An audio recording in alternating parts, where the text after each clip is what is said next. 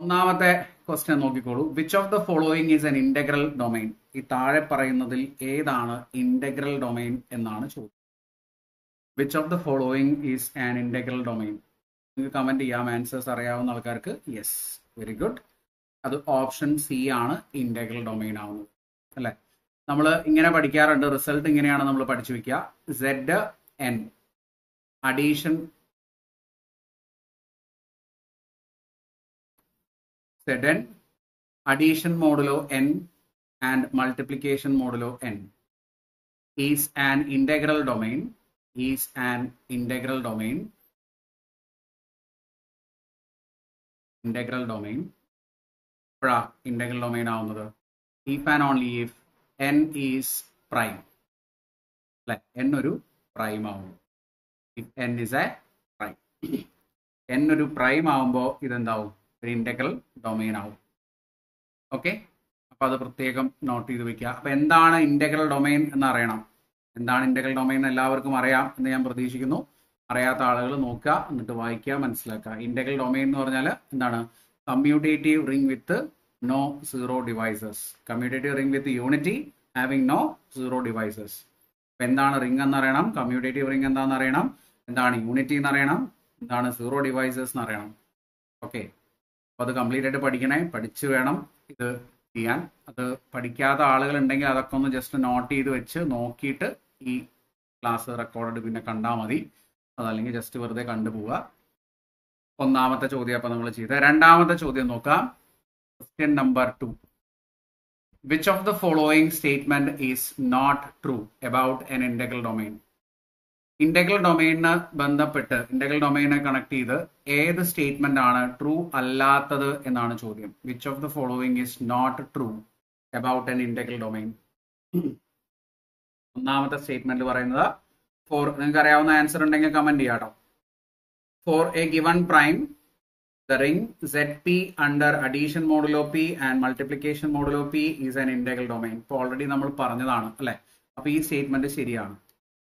Then every field is an integral domain എല്ലാ ഫീൽഡുകളും ഒരു ഇന്റഗ്രൽ ഡൊമൈൻ ആണ്. എന്താണ് ഫീൽഡ് എന്ന് അറിയണം അപ്പോൾ ഫീൽഡ് എന്താണെന്ന് അറിയണം കേട്ടോ. എന്നാലേ ഇപ്പൊ അത് മനസ്സിലാവുള്ളൂ. യെസ് കറക്റ്റ് ആണ്. ആൻസേഴ്സ് കമന്റ് ചെയ്യുന്നത് കറക്റ്റ് ആണ്. Every in field is an integral domain എല്ലാ ഫീൽഡുകളും ഇന്റഗ്രൽ ഡൊമൈൻ ആണ്. അതും സ്റ്റേറ്റ്മെന്റും കറക്റ്റ് ആണ്. A commutative ring R with unity is an integral domain if and only if if and only if A B equal to zero for every for a b belongs a comma b belongs to r and a is not equal to 0 then b equal to 0 എന്ന് വെച്ചാൽ എന്താണ്? Integral ഡൊമൈനിൽ എന്തുണ്ടാവില്ല നമ്മൾ പറഞ്ഞു. Zero divisors ഉണ്ടാവില്ല എന്ന് പറഞ്ഞു. ഇതാണ് സീറോ ഡിവൈസർ എന്ന് പറഞ്ഞതിന്റെ മീനിങ് അതായത് എ ബി എന്ന് പറയുന്നത് സീറോ ആവുക. For non zero A and B എയും ബിയും നോൺ സീറോ ആയിട്ട് വരുന്ന സമയത്ത് എ ബി സീറോ ആവുക എന്നുള്ളതാണ് എന്ത്? സീറോ ഡിവൈസസ് എന്ന് പറയുന്നത് അല്ലെ? അപ്പൊ ഇവിടെ സീറോ ഡിവൈസസ് ഇല്ലാതിരിക്കണം എന്നുണ്ടെങ്കിൽ ഏതെങ്കിലും ഒരു എലമെന്റ് എന്തായിരിക്കണം? സീറോ ആയിരിക്കണം. എ ബി സീറോ ആവുന്നത് എ സീറോ ആവുമ്പോഴോ അല്ലെങ്കിൽ ബി സീറോ ആവുമ്പോഴോ ആയിരിക്കണം. അങ്ങനെയാണെങ്കിൽ നോ സീറോ ഡിവൈസസ് എന്ന് നമുക്ക് പറയാം. അപ്പൊ ഇതും ശരിയായുള്ള സ്റ്റേറ്റ്മെന്റ് ആണ്. ഇനി every integral domain is a field എല്ലാ ഇന്റഗ്രൽ ഡൊമൈനും എന്താണെന്ന് പറയുന്നു? ഒരു ഫീൽഡ് ആണെന്ന് പറയുന്നു. ആ സ്റ്റേറ്റ്മെന്റ് തെറ്റാണ്. എല്ലാ ഇന്റഗ്രൽ ഡൊമൈനും എന്തല്ല? ഫീൽഡ് അല്ല.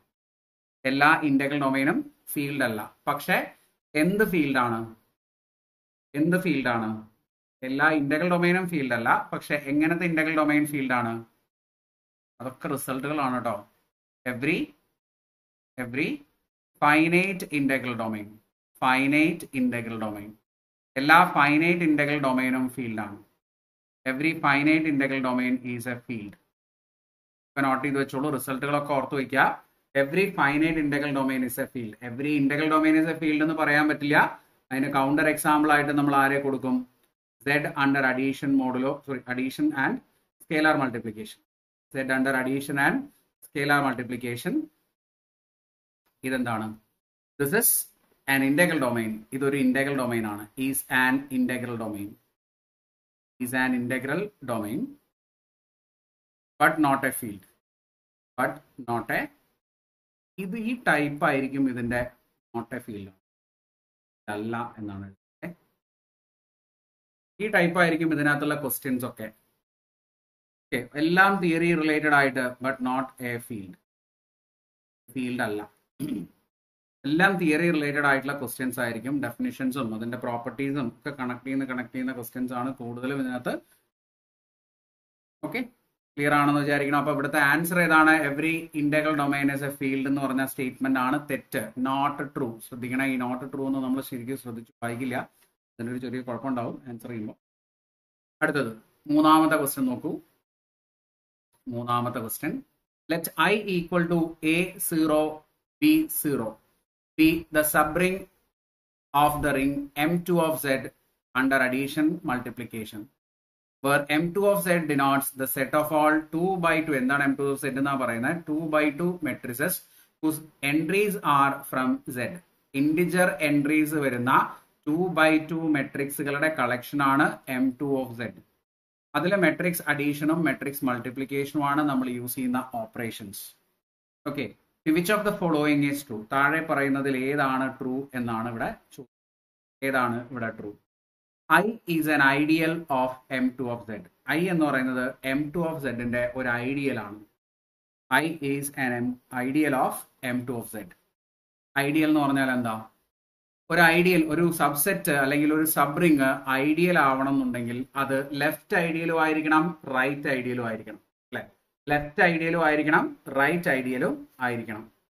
ഓക്കെ അപ്പൊ ഇവിടെ ലെഫ്റ്റ് ഐഡിയലോ റൈറ്റ് ഐഡിയലോ ആവാതിരിക്കുന്നോണ്ടായിരിക്കും അത് എന്താവാതിരിക്കുക? ഐഡിയൽ അല്ല എന്ന് പറയേണ്ടി വരിക കേട്ടോ അപ്പൊ first statement which of the following is true എന്നാണ് ചോദിച്ചിട്ടുള്ളത്. ഇവിടെ ഇത് ശരിയായിട്ട് സ്റ്റേറ്റ്മെന്റ് അല്ല നമുക്ക് ചെക്ക് ചെയ്യാം. I is a left ideal but not a right ideal of M two of Z I is a right ideal but not a left ideal of M two of Z I is neither a left ideal nor a right ideal of M two of Z okay ഇതിൽ option B ആണ് correct ആയിട്ടുള്ള answer I is the left ideal but not a right ideal എന്താണ് left ideal right ideal എന്ന് പറഞ്ഞാൽ left ideal right ideal എന്ന് പറഞ്ഞാൽ ഇപ്പോൾ left ഐഡിയലിന് corresponding ആയിട്ട് നമ്മളിപ്പോൾ എ എന്ന് പറയുന്ന ഒരു എലമെന്റ് ഐയിൽ നിന്നും സെലക്ട് ചെയ്തു എന്ന് വിചാരിക്കും. A belongs to I okay matrix ആയതുകൊണ്ടാണ് ക്യാപിറ്റൽ നമ്മൾ എടുത്തത് കേട്ടോ. ആ ഐ ആണല്ലോ ഐഡിയൽ ആയിട്ട് നമുക്ക് പറയാൻ പറയേണ്ടത്. അല്ലേ? ഇനി ഇതിന്റെ കൂടെ നമ്മൾ ഒരു ആറ് സെലക്ട് ചെയ്യുക I A R and R A ആണ് നമ്മൾ യൂസ് ചെയ്യുക സാധാരണ സ്മോൾ ലെറ്റർ ആയി യൂസ് ചെയ്യുക ഇത് മെട്രിക്സ് ആയതുകൊണ്ട് നമ്മൾ ക്യാപിറ്റൽ ഉപയോഗിക്കുന്നത് കേട്ടോ. ഈ R belongs to M two of Z ആണ്. R belongs to M two of Z ആണ്. ഇനി അങ്ങനെയാണെങ്കിൽ ഇതിന്റെ ലെഫ്റ്റ് ഐഡിയൽ ആവണമെന്നുണ്ടെങ്കിൽ ഇതൊരു ലെഫ്റ്റ് ഐഡിയൽ ആവണമെന്നുണ്ടെങ്കിൽ എന്താവണം? ആർ എ എന്ന് പറയുന്ന എലമെന്റ് ഈ ആർ എയുടെ ലെഫ്റ്റ് സൈഡിൽ ആറ് മൾട്ടിപ്ലൈ ചെയ്ത് കിട്ടുന്ന എലമെന്റ് എവിടുത്തെ എലമെന്റ് ആയിരിക്കണം? ആ ഐയിലെ എലമെന്റ് ആയിരിക്കണം. അങ്ങനെയാണെങ്കിൽ ഇത് ലെഫ്റ്റ് ഐഡിയലാണ് എന്ന് പറയും. ഇനി എ ആർ എവിടെ ഉണ്ടാവണം? A R belongs to I ആണെങ്കിൽ നമ്മൾ പറയും അതൊരു റൈറ്റ് ഐഡിയൽ ആണെന്ന് പറയും. എ ആറും ആർ എയും ബിലോങ്സ് ടു ഐ ആണെങ്കിൽ അത് നമ്മൾ എന്ത് പറയും? ലെഫ്റ്റും റൈറ്റും ഐഡിയൽ ആണെന്ന് പറയും. ലെഫ്റ്റും റൈറ്റും ഐഡിയൽ ആണെങ്കിൽ അതൊരു ഐഡിയൽ ആണ് എന്ന് പറയും. റിങ്ങിന്റെ ഐഡിയൽ ആണെന്ന് പറയും. അപ്പൊ ഇത് ചെക്ക് ചെയ്യാണ് നമ്മൾ ചെയ്യേണ്ടത്. അപ്പോൾ എ എന്ന് പറയുന്ന മെട്രിക്സ് നമ്മൾ എവിടുന്ന എടുത്തത്?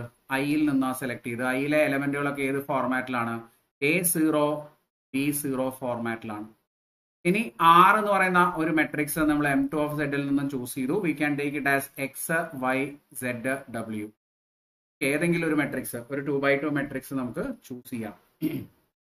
ഓക്കെ ഇനി എന്താ നമ്മൾ ചെയ്യണം? എ ആർ നമ്മൾ കാൽക്കുലേറ്റ് ആർ എ നമ്മൾ കാൽക്കുലേറ്റ് ചെയ്യണം അല്ലെ? ആർ എ നമ്മൾ കാൽക്കുലേറ്റ് ചെയ്യണം. ആർ എ എന്ന് പറഞ്ഞാൽ എന്താണ്? R A is X Y Z W into A zero B zero A zero B zero ഇത് മൾട്ടിപ്ലൈ ചെയ്ത് കിട്ടുന്ന എലമെന്റും ഐയിലെ എലമെന്റ് ആയിരിക്കണം. ഐയിലെ എലമെന്റ് എന്ന് പറഞ്ഞാൽ ഏത് ഫോർമാറ്റിലായിരിക്കും എ സീറോ ബി സീറോ ഫോർമാറ്റിലായിരിക്കും അങ്ങനെ ഒരു എലമെന്റ് ആണോ കിട്ടുന്നത് എന്ന് ചെക്ക് ചെയ്യാം മൾട്ടിപ്ലൈ ചെയ്ത് നോക്കൂ. എ എക്സ് ഇവിടെ മൾട്ടിപ്ലൈ ചെയ്യുമ്പോൾ A X matrix column row column ആണ് multiplication first row first column multiplication A X plus B Y എന്ന് വരും. ഇനി first row second column multiply ചെയ്ത് കഴിഞ്ഞാൽ എക്സിന്റെ കൂടെയും സീറോ ആണ് വൈന്റെ കൂടെയും സീറോ ആണ് മൾട്ടിപ്ലൈ ചെയ്യുന്നത്. ദിസ് വിൽ ബി സീറോ അല്ലെ? ഇനി അടുത്തത് സെഡ് എ ഡബ്ല്യു ബി അപ്പോൾ Z A Z plus B W എന്ന് വരും. അടുത്തത് സെഡിന്റെ കൂടെയും ഡബ്ല്യുവിന്റെ കൂടെയും സീറോ മൾട്ടിപ്ലൈ ചെയ്യുന്നത്. ഇത് സീറോ ആയിരിക്കും. അപ്പൊ ഈ ഒരു ഫോർമാറ്റിലാണ് നമുക്ക് ആർ എ എന്ന് പറയുന്ന മെട്രിക്സ് കിട്ടുക. And this belongs to I ഇത് എന്തുകൊണ്ടാണ് ബിലോങ്സ് ടു ഐ എന്ന് പറയുന്നത്? ഐയിലെ എലമെന്റുകൾ എങ്ങനെയാ ഉള്ളത്? എ സീറോ ബി സീറോ ഫോർമാറ്റിലാണ് ആദ്യത്തെ കോളത്തിൽ എയും ബിയും രണ്ടാമത്തെ കോളത്തിൽ സീറോയും സീറോയും അങ്ങനെയാണ് വരിക. ആ ഒരു ഫോർമാറ്റിലാണ് ഇവിടെ കിട്ടില്ല ആദ്യത്തെ കോളത്തിൽ രണ്ട് നമ്പേഴ്സ് രണ്ടാമത്തെ കോളത്തിൽ രണ്ടും സീറോ അപ്പൊ ഇത് ഐയിലുണ്ട് എന്ന് നമുക്ക് പറയാം. അപ്പൊ R A belongs to I ആയതുകൊണ്ട് ഇത് എന്താണ് ലെഫ്റ്റ് ഐഡിയൽ ആണ് എന്ന് നമുക്ക് പറയാം. ഇനി റൈറ്റ് ഐഡിയൽ ആണോ എന്ന് അറിയാൻ എന്ത് ചെയ്യണം നമ്മൾ എ ആർ ചെക്ക് ചെയ്ത് നോക്കണം. A R check A R എന്ന് പറയുമ്പോൾ എ എന്ന് പറഞ്ഞാൽ എ ബി സീറോ സീറോ ഇതാണ് എ അല്ലെ? ഇനി R X Y Z W multiply ചെയ്തോളൂ. എന്ത് വരും? A X plus zero Z അല്ലെ? അപ്പൊ എ എക്സ് എന്ന് മാത്രമേ വരുള്ളൂ ഇവിടെ. പിന്നെ അടുത്തത് എ വൈ പ്ലസ് സീറോ അപ്പൊ ഇവിടെ എ വൈ വരുന്നുണ്ട്. അപ്പൊ തന്നെ മനസ്സിലായത് ആ ഏത് ഫോർമാറ്റിലല്ല അതിലുള്ള എലമെന്റിന്റെ ഫോർമാറ്റിലല്ല എന്ന് കംപ്ലീറ്റ് ചെയ്യാം. ബി എക്സ് പിന്നെ ബി വൈ ഇങ്ങനെയാണ് വരിക. This element does not belongs to I ഇത് ഐയിലില്ല therefore it is not a right ideal അത് ലെഫ്റ്റ് ഐഡിയൽ ഐ എന്ന് പറയുന്നത് എന്ത് മാത്രമാണ്? ലെഫ്റ്റ് ഐഡിയൽ മാത്രമാണ്.